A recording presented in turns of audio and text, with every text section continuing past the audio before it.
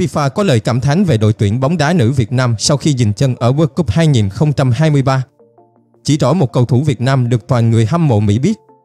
Thưa quý vị, đội tuyển nữ Việt Nam đã khép lại chặng đường World Cup 2023 với rất nhiều kỷ niệm đáng nhớ. Tuy đội thua cả 3 trận, thủng lưới 12 bàn và không đi được bàn thắng nào, nhưng đây là kết quả không quá bất ngờ bởi trình độ của chúng ta vẫn còn xa đẳng cấp World Cup. Trước những nỗ lực tuyệt vời của thầy trò huấn luyện viên Mai Đức Chung khi lần đầu góp mặt tại sân chơi hàng đầu thế giới, FIFA đã gửi lời cảm ơn đến toàn đội.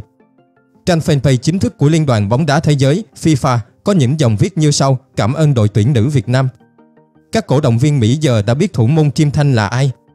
Siêu sao Alex Morgan của đội tuyển Mỹ từng thực hiện quả phạt đền và bị Kim Thanh cản phá trong trận đấu thuộc bảng E của đội này. FIFA cũng đăng lại clip về thủ thành của đội tuyển Việt Nam từng khiến người hâm mộ khắp thế giới thán phục Kim Thanh nói riêng và đội tuyển nữ Việt Nam nói chung.